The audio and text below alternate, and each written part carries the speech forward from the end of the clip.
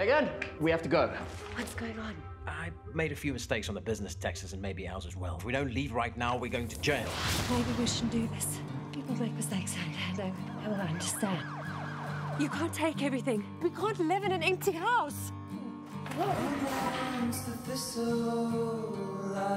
have to get divorced and I can't do it. Are we homeless? It's not easy being a mom. Trust me, I know.